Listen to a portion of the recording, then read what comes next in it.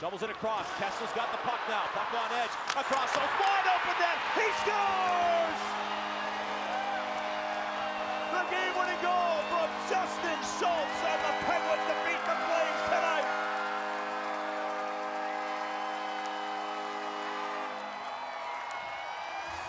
Well, Phil Kessel, he happens to be a great goal scorer, one of the best in the league, but the flip side of that is Mr. Gillies, he's also one of the best passers in the National Hockey League.